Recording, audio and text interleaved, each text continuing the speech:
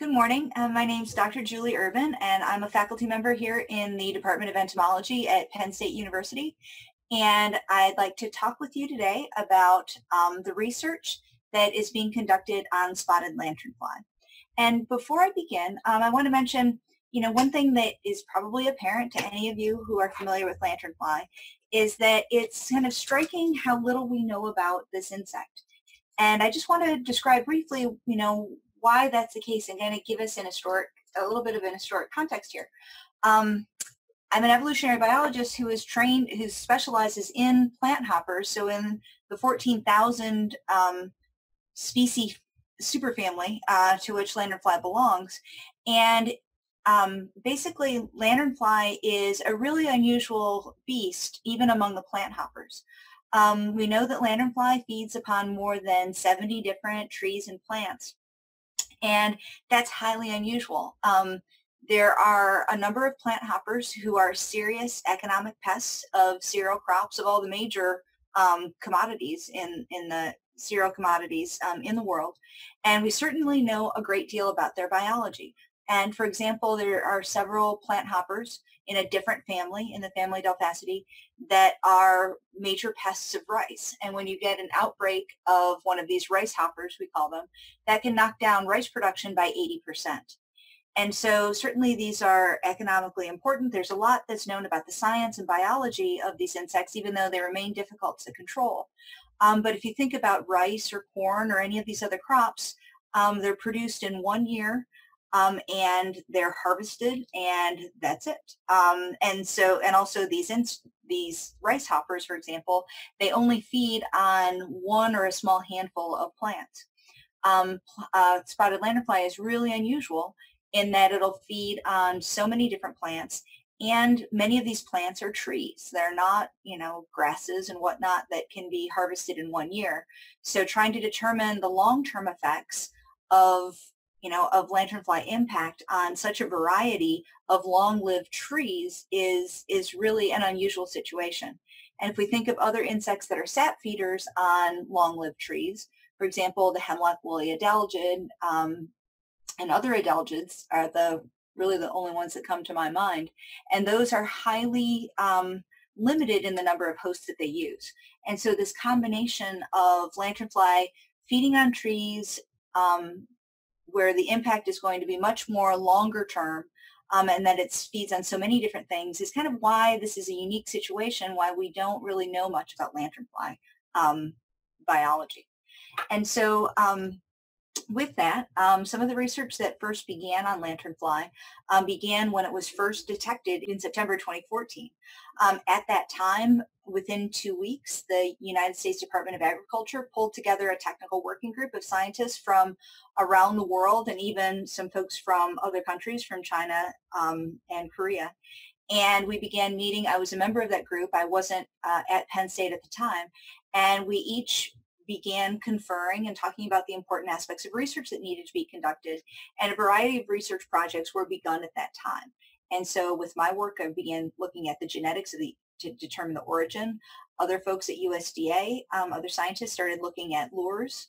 Um, faculty here at Penn State started looking at um, insecticides that might be useful and started looking at behavior. And um, folks at other institutions in forestry at USDA and in other universities began looking at um, predators and parasitoids of lanternfly.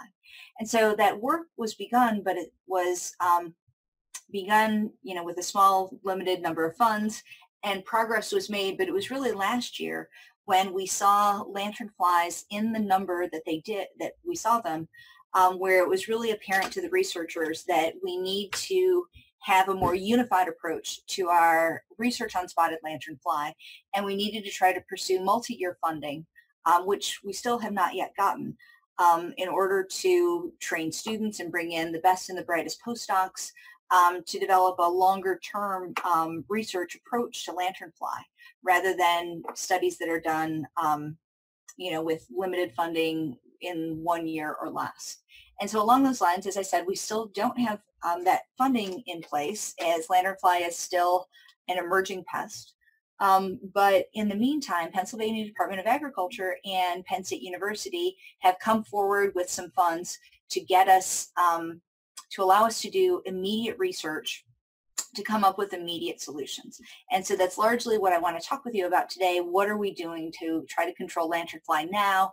And what are we doing to learn more about its biology to control it um, with other more um, less chemical-based um, strategies and more longer-term sustainable um, management strategies. And so um, in terms of insecticide efficacies, this is our front line of defense with this pest. We need to um, control the extreme numbers we're seeing, particularly in vineyards and in orchards. And so um, some of the research that folks at Penn State are doing, in particular Greg Krawczyk, um, down at our fruit research experimental station in Biglerville. Um, he's conducting research uh, in collaboration with Beekman Orchard, which is in the quarantine zone. They were heavily hit last year with lanternfly and again this year. And so they're testing um, various insecticides against egg cases. And so certainly um, we're not saying that the way that we would control lanternfly populations would only be um, using ovicides because, you know, if these insects are laying their eggs 30 feet up into a tree, certainly, you know, spraying the egg cases is not what's viable. But in terms of considering um, egg cases being laid upon any variety of substrates, including apple bins or um, containers used to transport grapes, certainly these would be um, the structures that we would be looking to treat with these insecticides to prevent lanternfly movement in those types of commercial um, interactions.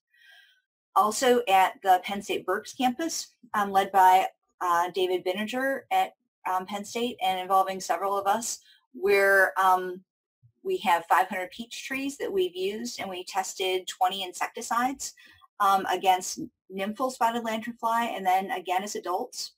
And as of last week, we began a study testing 10 of these most effective compounds um, against uh, lanternfly on grapevines. And so um, from the peach tree um, data alone, we used some rates that were relevant to grapes. And so from that, um, 10 um, compounds have um, been, will now have the data to be labeled for use against spotted lanternfly. So that's very good. We hope to add more with the grapevine study. Um, certainly, lanternfly is not just hitting uh, commercial commercial vineyards and orchards. Um, we know that homeowners and green industry owners, um, we see it hitting ornamentals as well. And so with that, we have two sites where we've worked um, with where we have a series of maple trees that are were all planted at the same time. And so a variety of compounds um, have been applied at different rates um, by the companies Rainbow and ArborJet. And so we're collecting data um, to scientifically evaluate those to come up with recommendations for some homeowners and the green industry. Um, also, it didn't make it because it just happened uh, last week. Um, Kelly Hoover here in our department has tested a variety of over-the-counter um, contact uh, insecticides um, that are available to homeowners. And those will be, those data will make it into a new extension publication very shortly.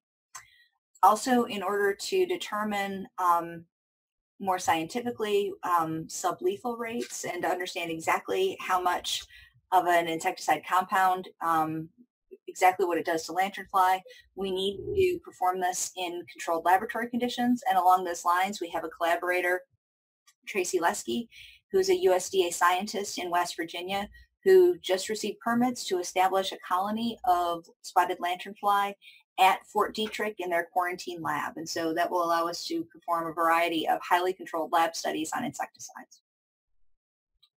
Other things that are, again, front line of defense, a colleague, um, Miriam Cooperband, who's a USDA scientist in Massachusetts, she's been testing um, how attractive various compounds are for to lanternfly in order to determine a lure that might be useful in trying to trap them.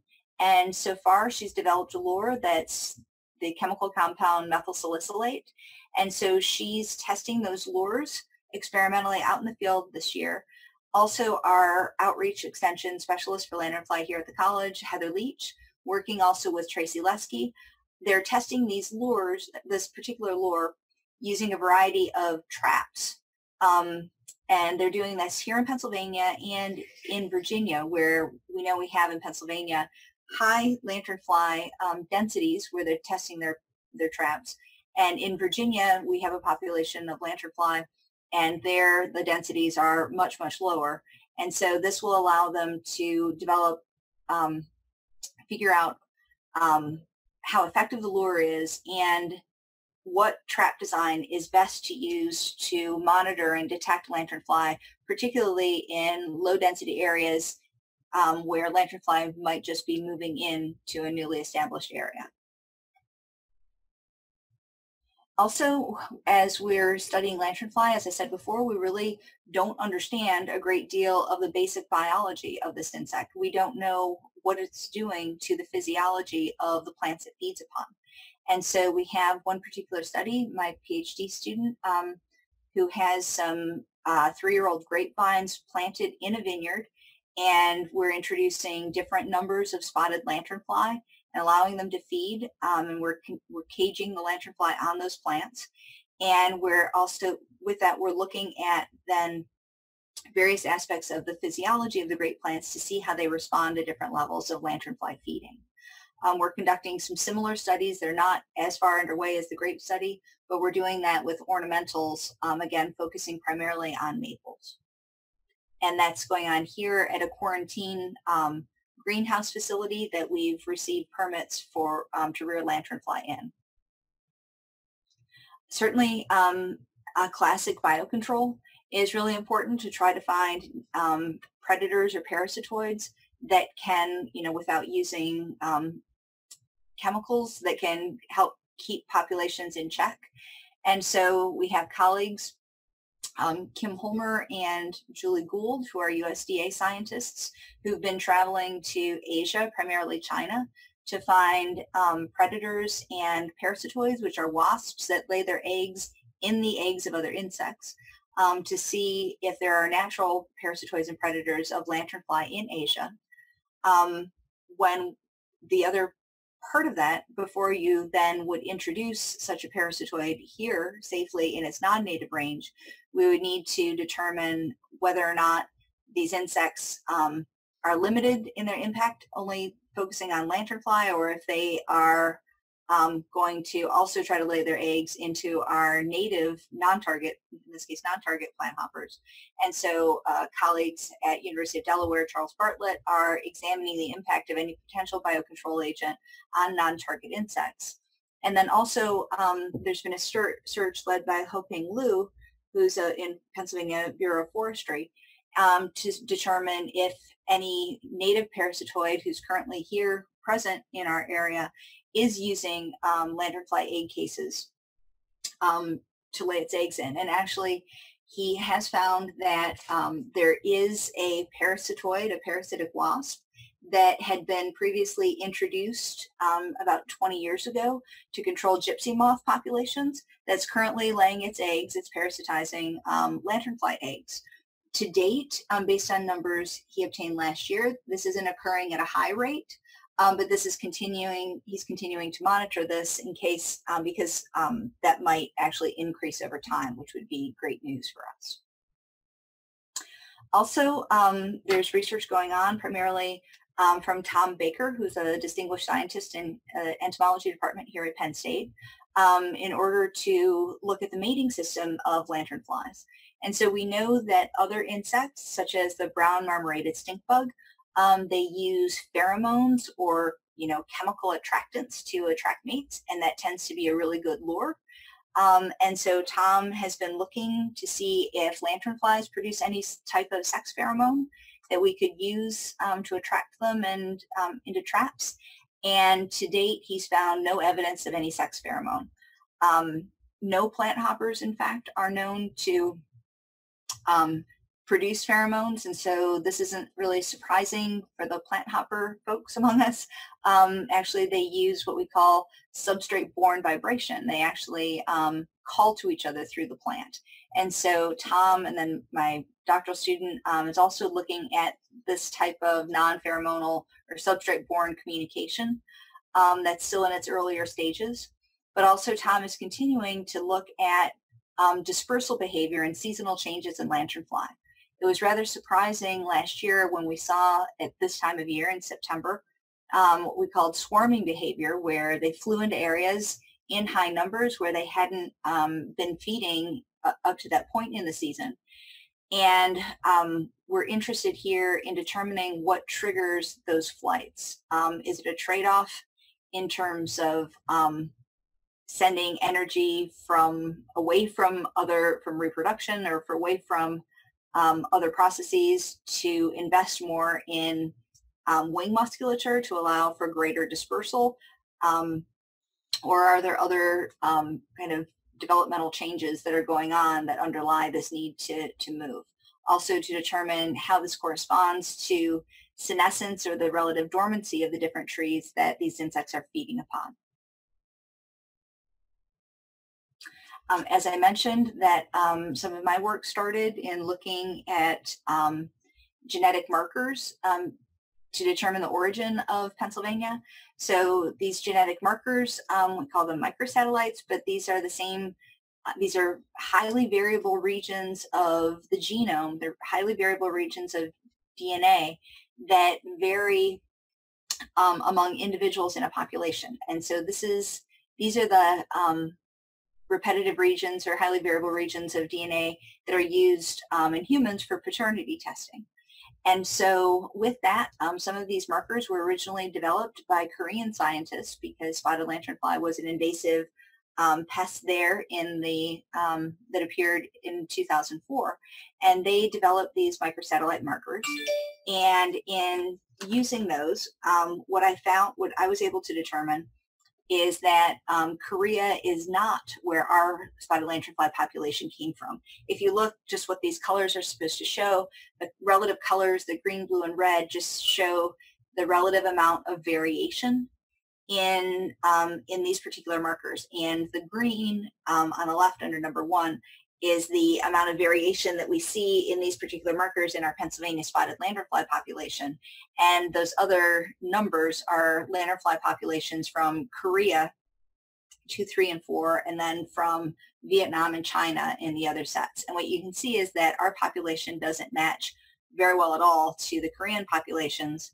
Um, it might match, we think it might be um, matching a bit to China, but what we see is that we need markers that are a lot more variable. And so we need better tools here, and that's something that I'm working on in my lab. Also, um, spotted lanternfly, because it feeds on um, sugary plant sap. Um, it means it excretes sugary excrement, and we call that honeydew. And um, this honeydew is a perfect substrate for black sooty mold to grow. You can see in this picture, the black sooty mold is blackening a grape leaf. Um, it has the potential to block photosynthesis um, in the plants. Um, we haven't seen that uh, too much to be too much of a problem in grapes um, because growers typically spray fungicide that keeps that at bay. But where we're seeing that as a problem is in understory plants um, in more natural forested areas or the edges of natural areas where we have lanternfly in, in abundance, um, the sooty mold growing on their honeydew will blacken the understory plants. And we're certainly concerned there about what that means for those understory plants, which are often important food sources for wildlife, like wild grapes um, and mulberry. But also we're worried and concerned about what this might mean for um, longer term nutrient cycling and plant regeneration in those natural areas. And so that's something we're looking at. And in my lab, um, what we want to do is to figure out exactly what is sooty mold. And so we're using um, DNA sequencing to characterize um, what it is that comprises sooty mold. Is this the same um, are these the same organisms that grow regardless of the substrate that it's growing upon? Um, and potentially figure out if there's any type of um, then antimicrobial compound that might be present um, in other communities not affected that we could use to control sooty mold growth.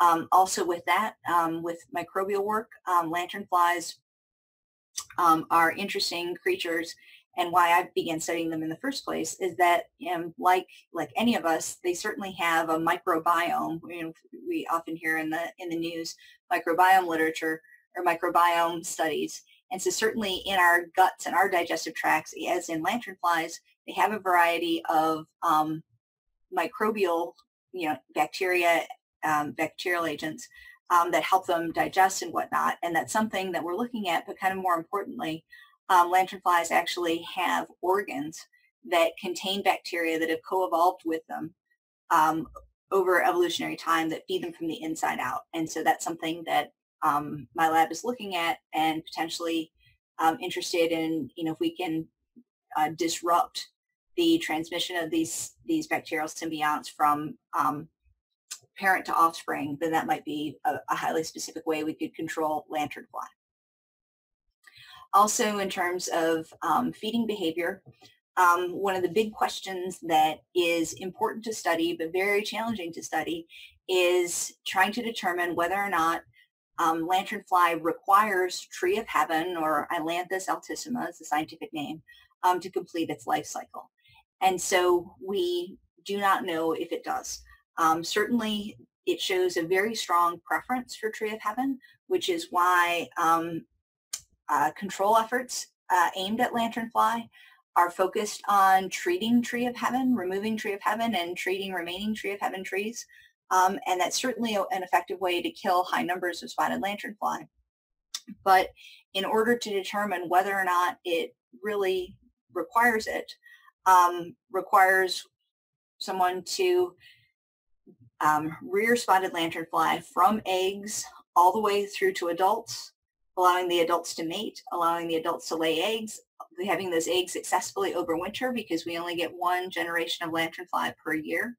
And to date, nobody's been able to um, successfully um, carry any um, populations of lanternfly through over a winter.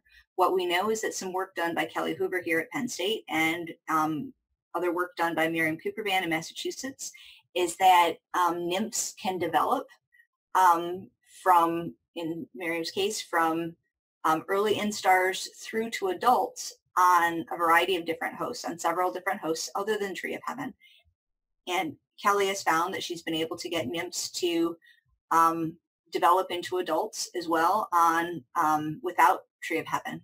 But to date, no one has um, uh, these these individuals have not mated and lay, laid eggs. We'll see. We still have um, this year to see if that can happen. But as such, um, it's going to be a bit challenging to really answer this tree of heaven uh, requirement. Um, also, some of the things that we're doing, we notice that spotted lanternfly tend to show really high preferences for certain trees, um, not just certain species of trees, but in a row of, say, four silver maple um, all in one place, we tend to see um, one of those trees will attract very high numbers of lanternfly, whereas the others don't. And so we're interested in trying to determine what it is that makes an attractive tree for a lanternfly. And so with some new equipment, we're measuring um, uh, the flow of sap or phloem flow in these trees and also looking at other nutrients to try to determine what makes a tree attractive. In terms of being able to rear spotted lanternfly, we're doing a variety of other things, looking at the um, opportunities to try to rear them on artificial diets because that might be helpful in getting a colony going. And also we're interested in determining um, as lanternfly feeds on trees, exactly what are they doing to the trees? Um, what are they doing physically as they penetrate the, the tree? We see them exhibit um, uh, competition for feeding sites. And so we're interested, are they doing anything to physically manipulate the tree? Here we're also looking at the um, proteins in their salivary glands, again, in order to see exactly at that entry level what is going on when lanternflies are feeding. And so I think that wraps up uh, the research that um, it's definitely not everything because there's new things coming on board every day, but to give you a sense of some of the things that we're working on here at Penn State and with collaborators and that other collaborators are working on. These are some of the immediate studies that are being conducted right now for spotted lanternfly and its control. Thank you.